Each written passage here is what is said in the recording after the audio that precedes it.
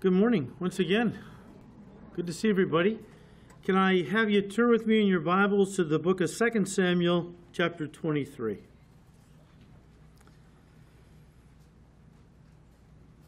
Almost done with 2 Samuel. Going to be starting 3 Samuel next week. You don't have a 3 Samuel? We got a problem. No, I don't either. Well, we're praying about what the Lord will have us do. Uh, but this morning, we come in our study of 2 Samuel to chapter 23, verses 1 to 7, a section that is called David's Last Words. Now, before we look at David's final words, let me just say that today it seems we are surrounded by a constant chorus of talking heads in the form of pundits and commentators on TV, talk radio, and the internet. All these uh, mediums have provided a platform or a soapbox from which these people can spew a constant stream of trivial and even meaning, meaningless drivel into our lives. One day, as I was preparing a study in the book of Joshua, I was looking at Joshua's farewell address. And it hit me that when a person is saying goodbye to the people that matter most to them, they're not going to waste their words with meaningless chit chat, you know, right? I mean, you know, you're, you know, you haven't got much longer to live.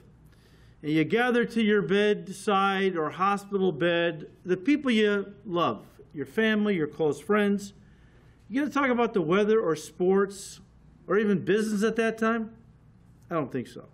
I don't think so most people are going to want to pass along to the people they love the most the things that they've learned over the course of their life, the things that really matter, things that are important.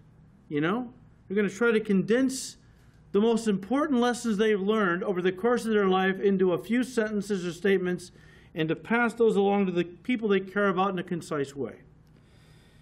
Here we see in our text this morning the final words of David. And we see in his final words that very thing we're talking about. How he wants to pass along to the people he loves, probably the nation of Israel, uh, but of course to all of God's people, the lessons that David has learned over the course of his life that were important. These are words that really matter. The title of this message, Words That Matter. So, verse 1 Now, these are the last words of David. Thus says David, the son of Jesse. Thus says the man raised up on high, the anointed of the God of Jacob, and the sweet psalmist of Israel. So here in verse 1, David identifies himself as the one who actually penned these words, but in verse 2, he tells us who actually gave him the words that he wrote down. Verse 2 The Spirit of the Lord spoke by me, and his word was on my tongue. So even though these are some of the last words of David, I'm not saying he spoke them from his deathbed, but sometime just prior to his death, um, and he acknowledges right here that they're inspired by the Holy Spirit. So obviously, these are words that we really need to pay attention to. It's like the Spirit of God is telling us, look, I've got some important things to say to you. Listen up and he's using David to do that. And the first thing that David, uh, as the current king of Israel, wants to express in these final words of wisdom listen, is how important godly leadership is to a nation. Now, he's a king, and so obviously he's going to want to pass along words of wisdom to other kings and leaders and so on. He said in verse 3 The God of Israel said, The, the rock of Israel spoke to me. He who rules over men must be just, ruling in the fear of God. As I said, David was a king. He took over for King Saul as king of Israel. You know, Saul didn't rule in the fear of God. We've studied Saul's life from 1 Samuel pretty much. But uh, Saul didn't rule in the fear of God. Uh, Saul abused his power. He was the typical politician who rewarded his allies and punished his enemies. I'm talking about fellow Jews now. He was the kind of a guy that if you could do something for him was quid pro quo, this for that. That if he, he would do for you if you could do something for him in return. That is the majority of our politicians today. they don't really do for people, not all, but most, they don't really do for people because it's the right thing to do to help people. They always will, you know, gather to themselves the folks that will help them the most, and then they target them to bless the most. Also, we, as we studied Saul's life, he wasn't a man that fully obeyed God. God would tell him to do something, he wouldn't fully obey. Why? Because he wanted to do things to please people. That would ingratiate him to people so that, again, they would support him as king and leader. And so, whenever God told Saul to do something, you know, he never really did it. He always had a better way. And um, then when God confronted him, well, the people, they wanted this, or they would have stoned me, or whatever. So he was a people pleaser, a man pleaser, the worst kind of a leader. The, uh, Paul the Apostles in Galatians 1, verse 10 if I seek to please men, I'm no longer a servant of Christ. As a leader, you have to decide right here and now if you're going to lead God's people or any people, you have to ask yourself, am I going to be a God pleaser or a man pleaser? Paul said you can't be both. Now, if you really serve God with all your heart, guess what? You will serve the people in the right way. My goal is to serve the Lord Jesus Christ to the best of my ability, so help me God. Because when I love the Lord and I do what He wants me to do, He's the good shepherd. He's going to want me to take care of you guys, but not to tell you what you want to hear to placate you, that you support me more. I'm going to tell you what you need to hear, not necessarily what you want to hear, because that's how you grow. Now, David is saying, under the inspiration of the Holy Spirit, that those who rule over people must be just, righteous, not corrupt, and they must rule in the fear of God. Guys, ruling in the fear of God means that a good ruler will honor God's word and govern his people according to its precepts and commandments. He will not take a bribe to pervert justice, nor show favoritism to the rich over the poor in a civil matter. He does what's right because he knows that someday he will have to stand before the great king and judge of all the earth and give an account as to how he led those people that were under him. And guys, listen, if he's a good leader, he's going to take that or she's going to take that into consideration. It's going to produce in them a godly fear which will impact and underpin the way he or she rules over others. One author said this, and I quote Without righteousness, and the fear of God, a leader becomes a dictator and abuses God's people, driving them like cattle instead of leading them like sheep. David was a ruler who served as a servant who ruled, and, and uh, excuse me, David was a ruler who served and a servant who ruled. And he had the welfare of his people always on his heart. It encourages me today to see that even secular business specialists are comparing effective leaders to shepherds who care, end quote. Verse 4, talking about a man that leads in the fear of God. He shall be like the light of the morning when the sun rises, a morning without clouds, like the tender grass springing out of the earth by clear shining after rain. David will often wax eloquent, poetic, He's the sweet psalmist of Israel. He wrote half the Psalms in the book of Psalms. And the idea behind the poetic language David is using here is that when a ruler rules, when a ruler rules, let, me, try that again slowly. When a ruler rules righteously in the fear of the Lord, listen, it's going to usher in a new period of opportunity, growth, and blessing for his people. Why? Because he will bathe them, bathe them in the light of God's truth and they will flourish like the green grass after the rain. Again, another commentator said, and I quote, For well watered seedlings to fulfill their potential, they must have bright sunlight. Uh, they must have bright sunlight. Similarly, strong, righteous leaders help create an environment in which the people under their care can fulfill their potential. end quote. Now, verse 5, David becomes a little introspective.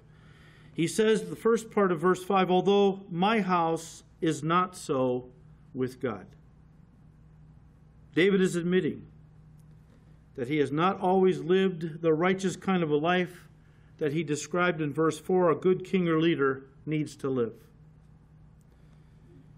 he said in verse 5 Although my house is not so with God, he has made, uh, yet he has made with me an everlasting covenant, ordered in all things and secure. Let me stop there.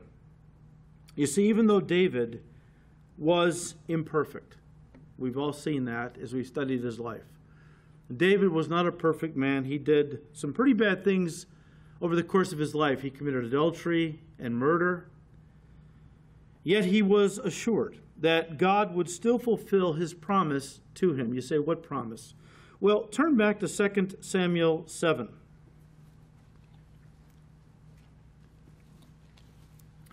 While you're turning there, remember how that at one point David wanted to build God a new house, a temple. Uh, God had been living in a tent for many, many years.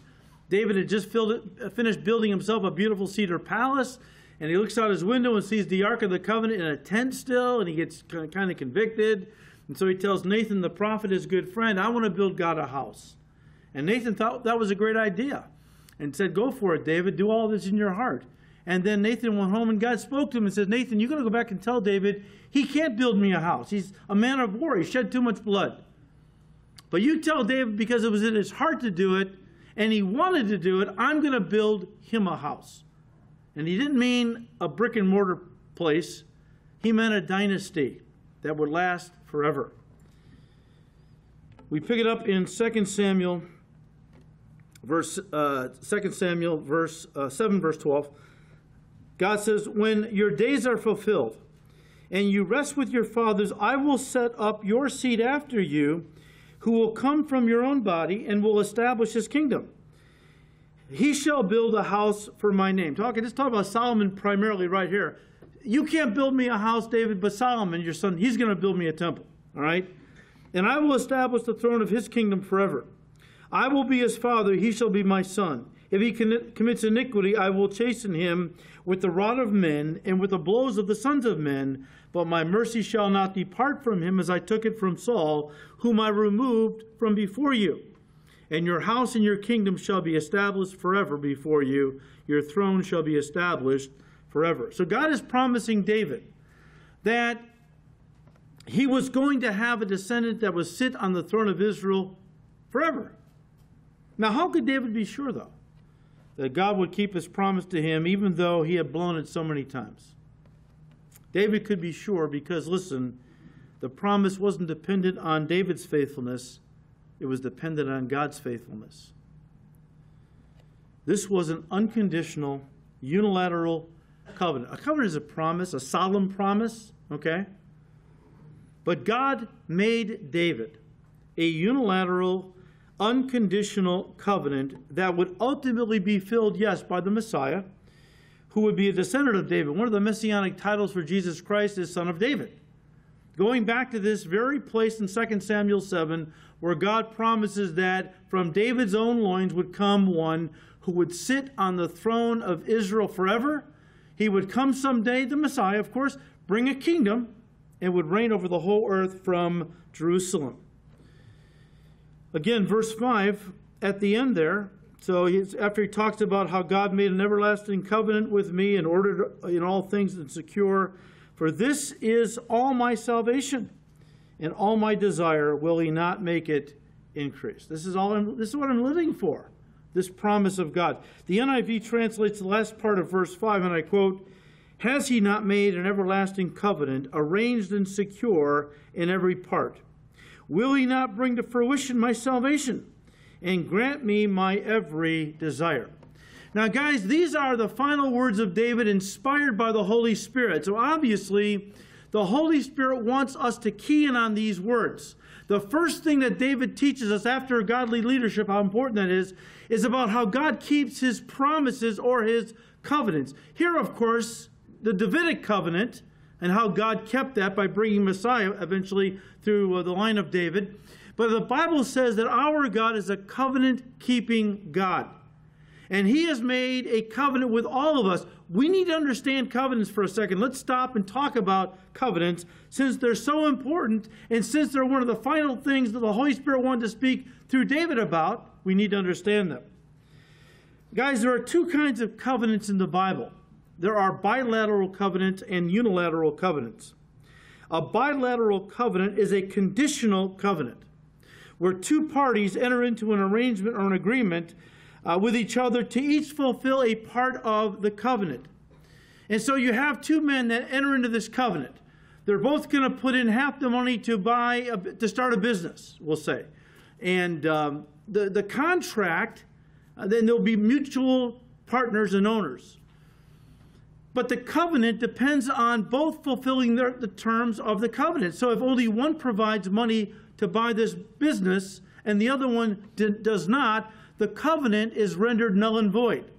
Because in a conditional bilateral covenant, you have to have both parties faithful to observing or keeping their part of the covenant. That's why it's called a conditional covenant. It's a two party contract.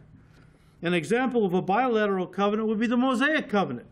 You remember how God spoke to his people from Mount Sinai, saying that he wanted to enter into a covenant with them. And they thought that was a great idea. And God says, Look, I will bless you beyond any people on the face of the earth if you will obey my commandments. Bilateral covenant. God says, I will bless you if, here's the condition, you obey all that I have said. If you do not obey what I have said, not only will I not bless you, here are the curses that will come upon you. You can read Deuteronomy 27 and 8. A unilateral covenant, guys, is a one party contract or agreement. It's unconditional because it only has one person, listen, it only has one person making a promise to another person. A promise that has no terms that they have to fulfill to receive the benefits of this kind of covenant. A good example of a unilateral covenant would be a will, as in a last will and testament, right? In most wills, I can't speak for all of them, but I am certain that most wills are unilateral covenants, where the person who has drawn up the will has promised people certain things when he or she dies. Uh, you know, I promise you, I'm, I'm written in my will that when I die, you, whoever it is, uh, you're going to receive my Elvis record collection, which I don't have, but get the idea. Now, you don't have to do anything. I just have to die. You don't have to do anything to receive what I'm promising you. There's no terms. I didn't say, if you do this or that, you'll get the collection. It's simply, I promise to do something for you or give something to you once I die. It's a one party contract, it's unilateral, unconditional, you have no terms to fulfill. See, this is the language we see God using in 2 Samuel 7 when he made this covenant with David and his family. Let me read again verses 14 to 16. I will be his father. Now, God is focusing primarily now on David's son Solomon, who would re- replace him as king when David died. I will be his father, he shall be my son. If he commits iniquity, I will chasten him with the rod of men and with the blows of the sons of men. But my mercy shall not depart from him as I took it from Saul, whom I removed from before you. And your house and your kingdom shall be established forever before you. Your throne shall be established forever. Do you see any terms that God specified in this promise? No, he didn't say, David, I'm going to promise you that you're going to have a descendant, i.e., Messiah, who will sit on the throne of Israel forever if you do this or your descendants do this. There was no terms. There was no conditions. David and his descendants had nothing to fulfill, no terms to keep, to be the recipients of the benefits of this promise by God, to be again the family through whom Messiah would be born.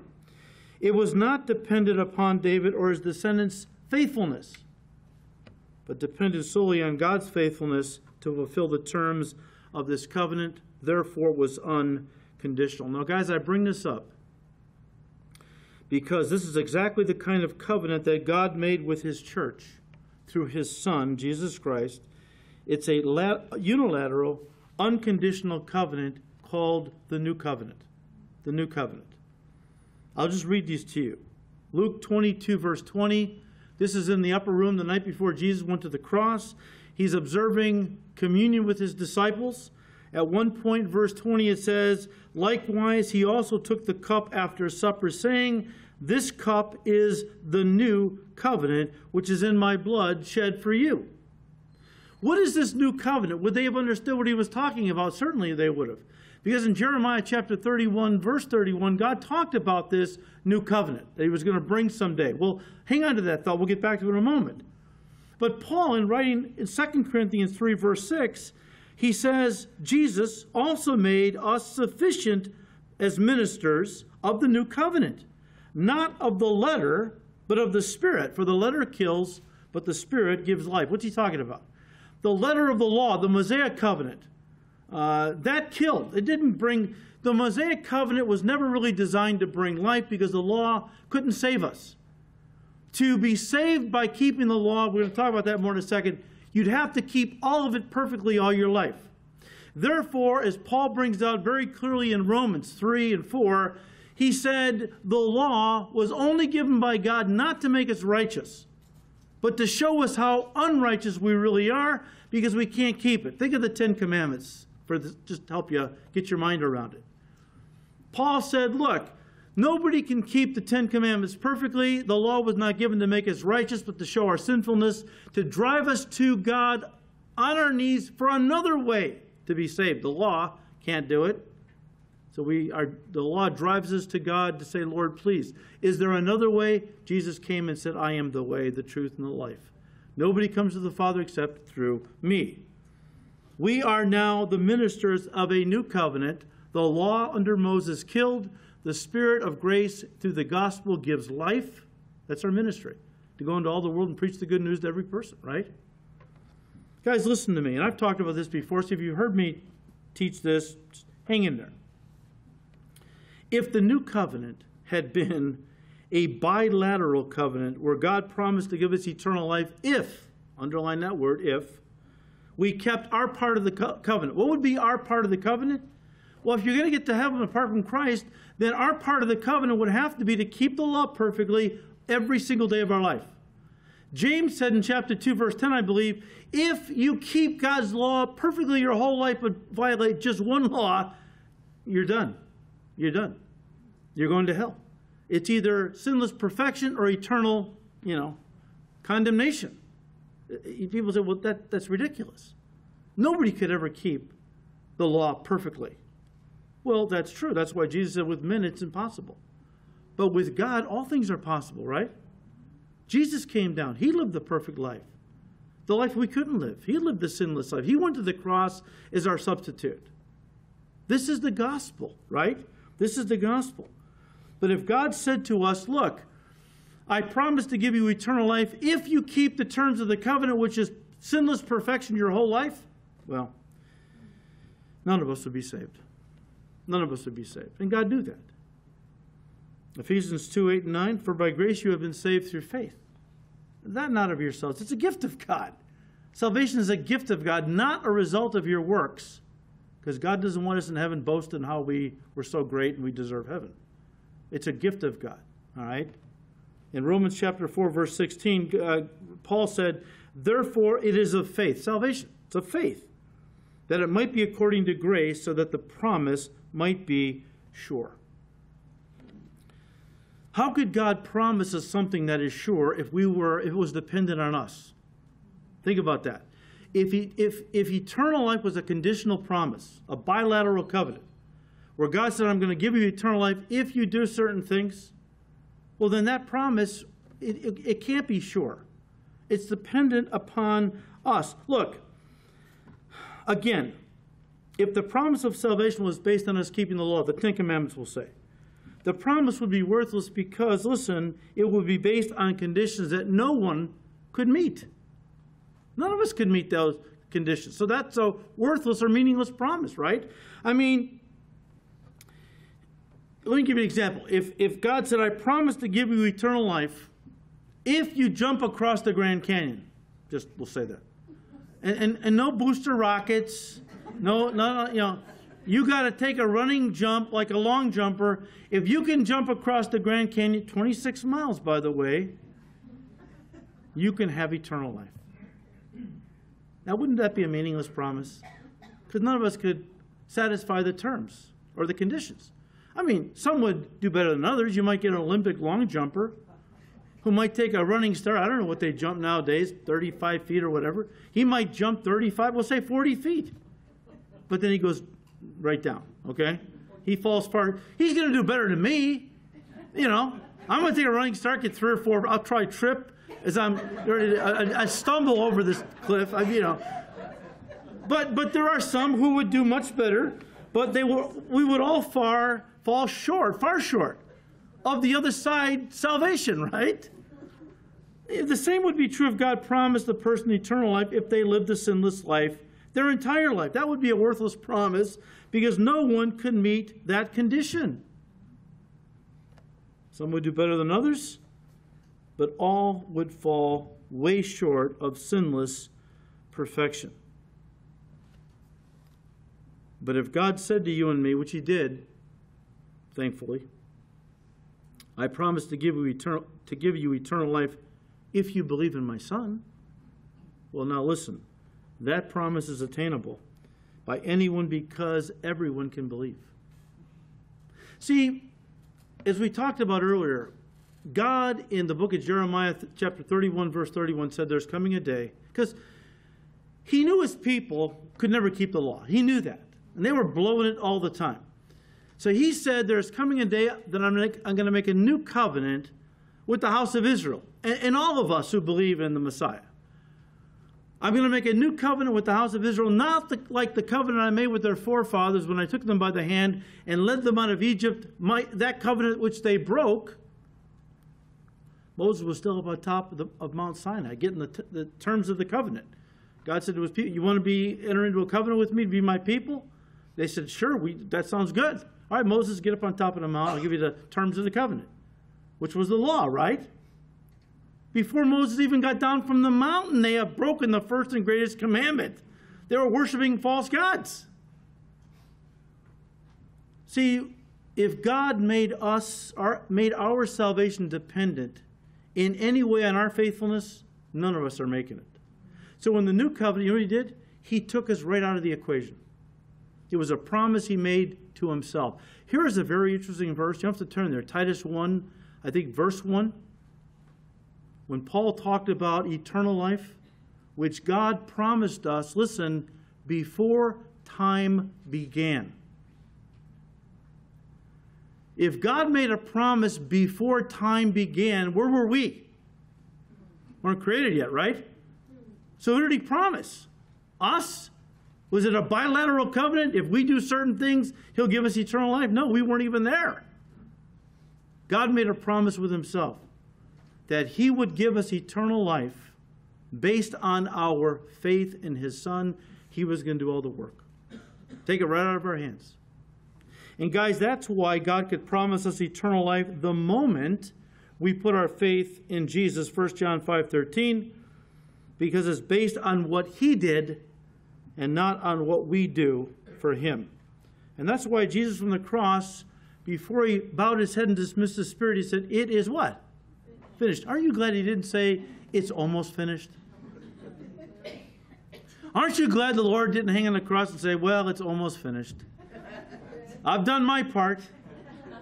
Now, hopefully, you'll be faithful and go to church and light them candles and pray them rosaries, and you know you'll you'll be faithful to do, help in the in the soup kitchen and so on. You'll be faithful to do your part, and then you can have the eternal life that I'm offering. I'm so glad He said from the cross, "It is finished, the Greek paid in full. If it was by our works, guys, he couldn't have promised us, promised us eternal life. Underline eternal. Uninterrupted life for all eternity from the moment we put our faith in Jesus. That's what eternal life is. It's uninterrupted life forever, eternity. I mean, how could God promise us that immediately when we receive Christ, that we have eternal life. If it was by our works, all he could have said was, well, uh, you believe in me, and that's half the battle, but now you've got to work hard and, and be good to earn the life I'm offering. And if you're good enough and work hard enough, when you die, you'll receive eternal life. You see, the fact that God promised to give us eternal life instantly and forever, The moment we put our faith in Jesus testifies to the fact it was all by a gift of grace and not by the works of the flesh. And that's why the writer of the Hebrews said, when it comes to the promise of eternal life that we have under the new covenant, it is a promise that is both sure and steadfast. Yes, it's sure because it doesn't depend on us, and steadfast because God is a rock, He never changes. So God is not going to say at one point, Well, I changed my mind. I know I promised you eternal life. I'm not feeling it anymore. it's sure and it's steadfast. All right, look. So far, in David's final words, he has sought to pass on to us words of wisdom concerning the importance of godly leadership. Secondly, about the assurity of God's promises. He keeps his promises. And finally, about the destiny of the wicked. Verse 6 But the sons of rebellion shall be as thorns thrust away, because they cannot be taken with hands but the man who touches them must be armed with iron and a shaft of a spear, and they shall be utterly burned with fire in their place. David's final words of wisdom, once again, words that were inspired by the Holy Spirit, words that he wants to pass on to us, as we said, words that really matter, not trivial, meaningless junk, have to do, the final thing is have, they have to do with rebels and how they are to be dealt with by man in this life and will, and will someday be dealt with by God in the afterlife. Guys, these rebels are rebels against God. That's the idea. Those who refuse to live in obedience to what he has said in his word. The statement in verse 6, where David refers to these people as the sons of rebellion, isn't just, listen, a description as to how they live, it's a designation as to who they are. They are the sons of rebellion, or in other words, the children of the first rebel in the history of the universe? The devil. Again, verse 6 The sons of rebellion shall be as the thorns thrust away, because they cannot be taken with hands, but the man who touches them must be armed with iron and a shaft of a spear, and they shall be utterly burned with fire in their place. Guys, thorns are emblematic in the scripture of the curse brought into the world by man's sin and rebellion in the Garden of Eden, Genesis 3:18. You can check it out. But here David is likening godless, wicked people to thorns, who so who, like literal thorns, serve no real useful purpose in the kingdom of God. Now, of course, thorns not only don't bless the farmer, they're a curse to him. Why? Because he's got to get rid of them before he can plant his fields with, crop, with the seed. Mark 4, verse 7 says, If thorns are left in the ground, they will choke out the life of the seed. You have to first remove them. It's a curse to the farmer because he can't just go out there and rip them up out of the ground. Uh, these are not the little thorns maybe in your garden. These are the four to five inch thorns that you find in, in Israel. Okay, these are serious thorns. He's got to remove them with a pitchfork or some other iron implement. He can't touch them with his hands because to do so would be would uh, he would be injured by them. In that regard, they were not only worthless, they were dangerous. Well, a few years ago, we went, actually in the 90s, I think it was, 98, 99. We uh, led a tour to Israel. And we had a young guy with us, about 23 at the time. And of course, when you go to Israel on a tour, you stop at these different sites, and the guide will give you a, uh, the background and history, and then a pastor usually teaches. Well, we had stopped at this one site somewhere out in some kind of a wilderness area, and this young guy liked to kind of wander a little bit. I don't know, you we'd be sitting there listening to the guide, and he's over here, and you look, he's over there. I don't, I don't know why he was so restless, right?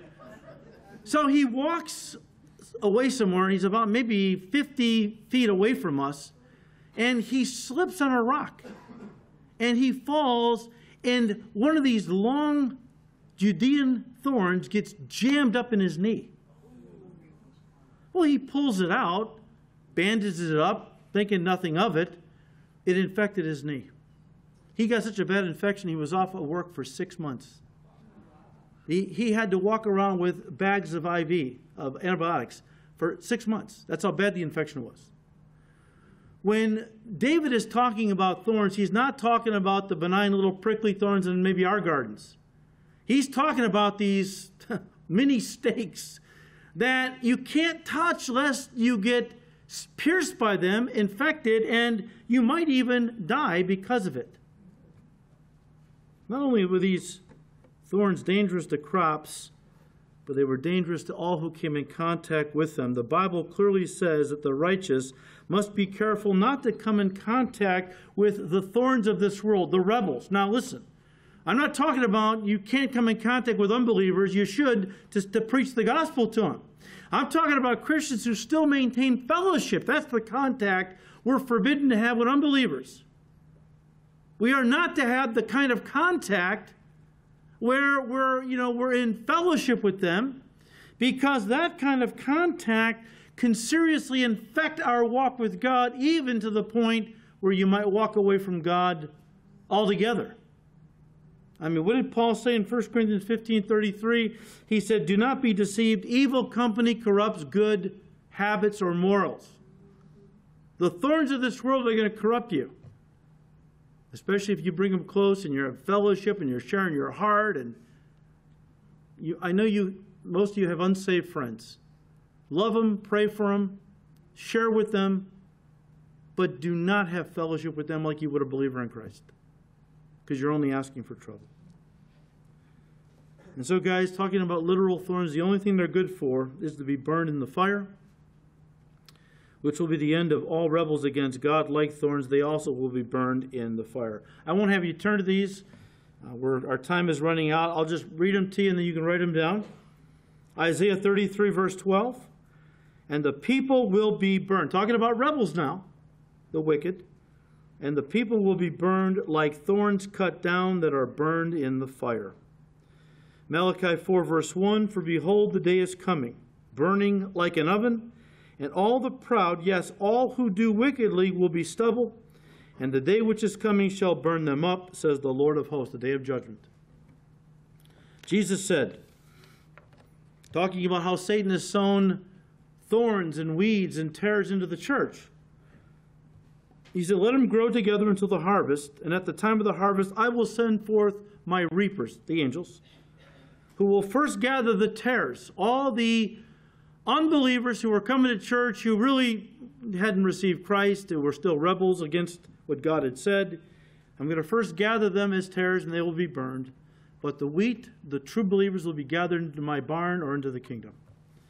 One author said, and I quote, in a brilliant, or, in a brilliant oracle ending analogy, David likened the fate of the evil in his realm to the fate of weeds in a farmer's field.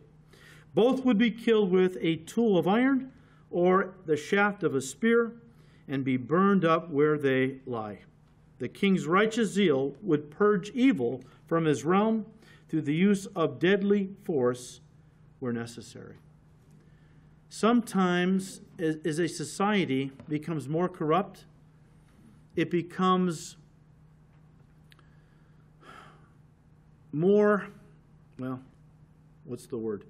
As society becomes more corrupt, it becomes more the responsibility of government to do what it has to do to keep people in check. You know, we are currently watching our nation descend into lawlessness and anarchy. Even as Paul prophesied, in the end times, evil men would grow worse and worse.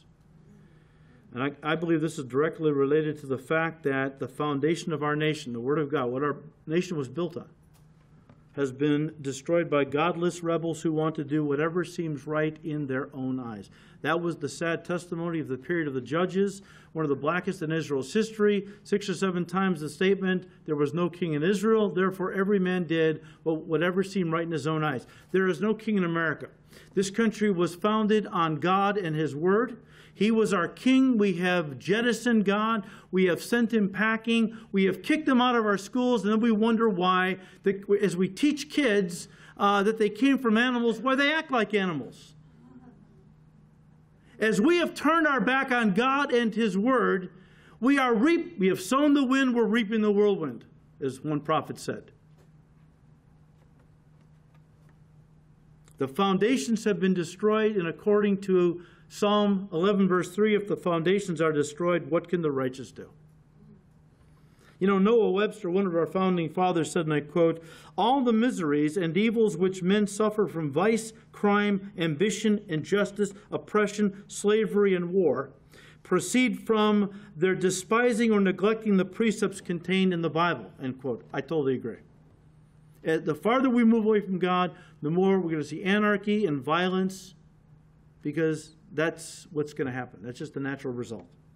John Adams, our second president and signer of both the Constitution and the Bill of Rights on October 11, 1798, said that there is no government, basically, is what he said, there's no government in the world strong enough to force people to do something against their will. He said, You just can't coerce people to be good and moral against their will. He said, and I quote, We have no government armed with power capable of contending with human passions unbridled by morality and religion. And of course, he was talking about Christianity. Our Constitution was made only for a moral and religious people. It is wholly inadequate to, govern, uh, for, to the government of any other, end quote. Samuel Adams said something in 1775 that sounds like it was just spoken in the evening news. He said this He said, When people are universally ignorant and debauched in their manners, they will sink under their own weight without the aid of foreign invaders, end quote. Well, by the way, that's what happened to the Roman Empire. The Huns didn't conquer Rome from without, they corrupted themselves from within. Rome became so debauched, so immoral, so corrupt, that it just collapsed in on itself like a rotting corpse. We're seeing, there is no new history being written, it's just being recycled, basically.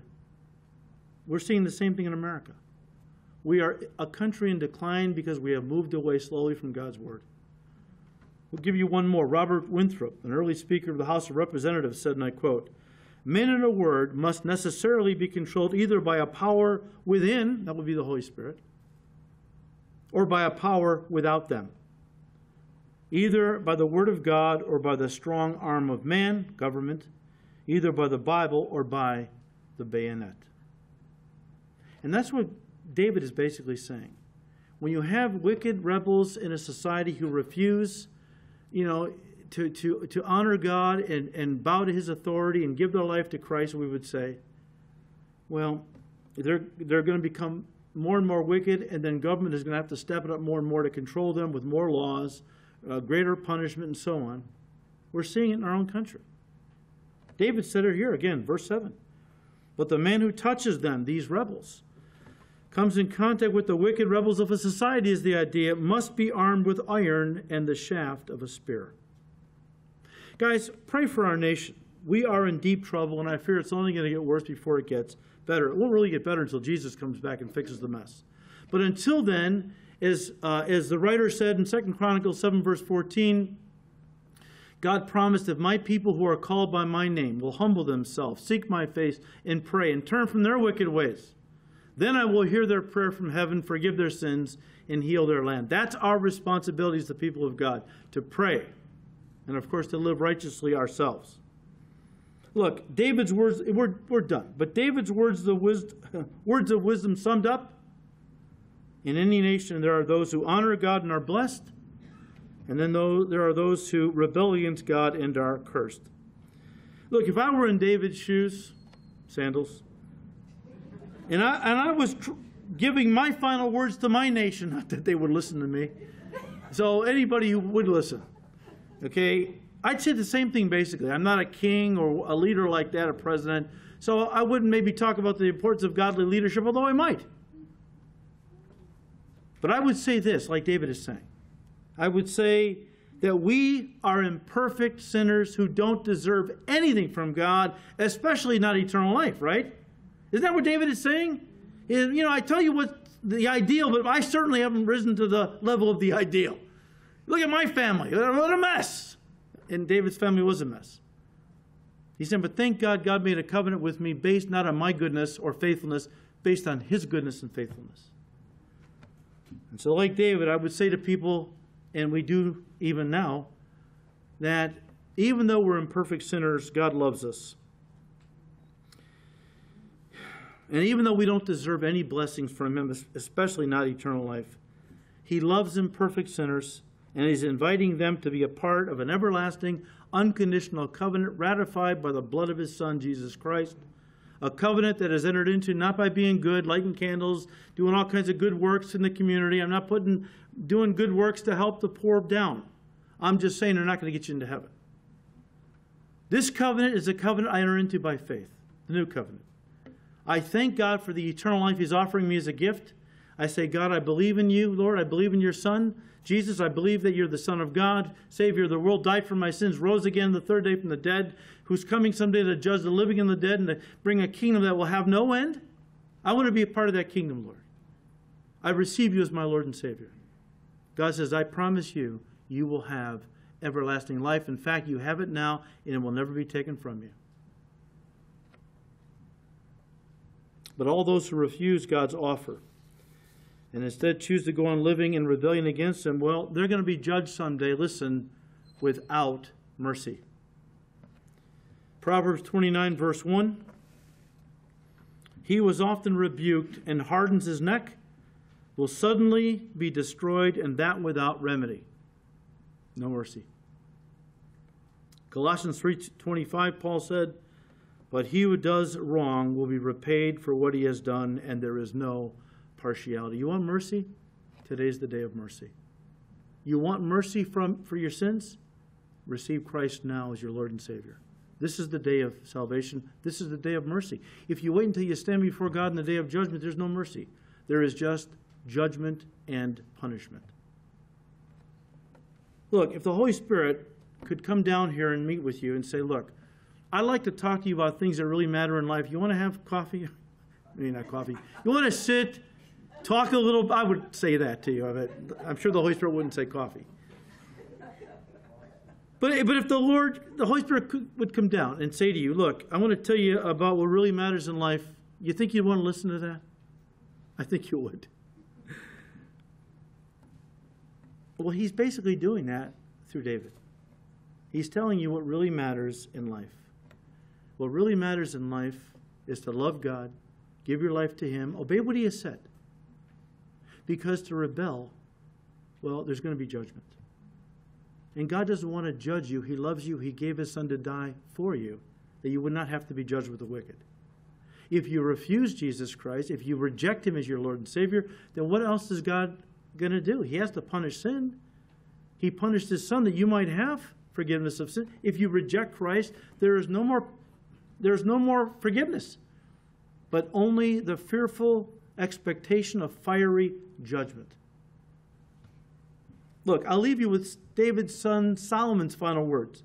They're, they're, these final, one day I'll do a message, words that matter, and I'll pull out some of the final farewell addresses throughout the Bible.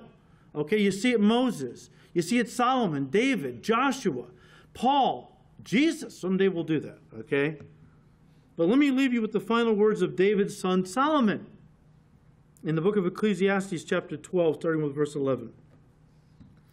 He said, The words of the wise are like cattle prods, painful but helpful. Not easy to hear things you don't want to hear, but if you listen, they'll help you. Their collected sayings are like a nail studded stick with which a shepherd drives the sheep. But, my child, let me give you some further advice. Be careful. For writing books is endless, and much study wears you out. That's the whole story. Here, here now is my final conclusion. So here's, here's the bottom line. These are the words I want to pass along to you that really matter. Here's the, the, the whole course of life. Fear God and obey his commands, for this is everyone's duty.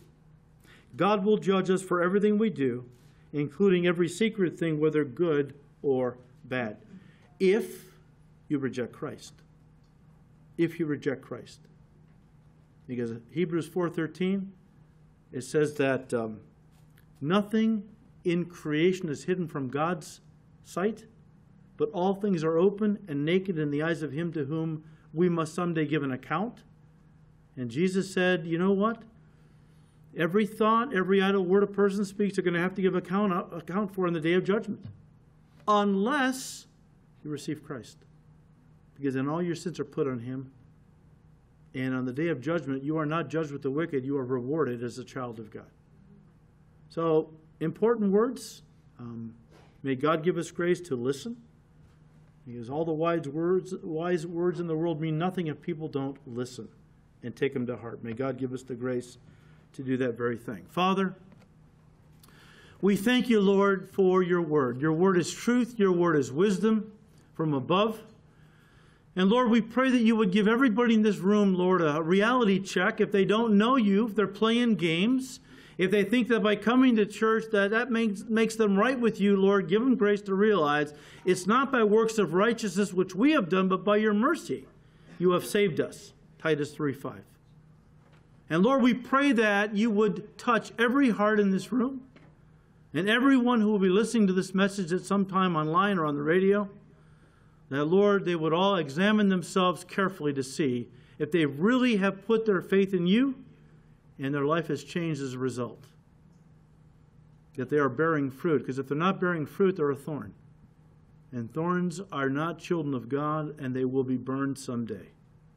Lord, give us grace, those who know you, that we would bear more fruit, much fruit, that we would glorify you in these last days through all we do and say. And we thank you, Lord. We thank you that there's a day coming when the Lord, as somebody has said, for a righteous person, a Christian, this life is as, is as bad as it's ever going to be for us. If you're an unbeliever, this life is as good as it's ever going to be. Thank you, Lord, that for us who know you, this life is nothing. These light afflictions are only temporary and are building for us a far more exceeding and eternal weight of glory. We don't look at the things that are seen, we keep our eyes on the things that are unseen, the heavenly places. And we thank you, Lord, that someday we will be taken to be with you soon, to live in your kingdom forever. Father, we thank you. We ask all this now in Jesus' precious name. Amen.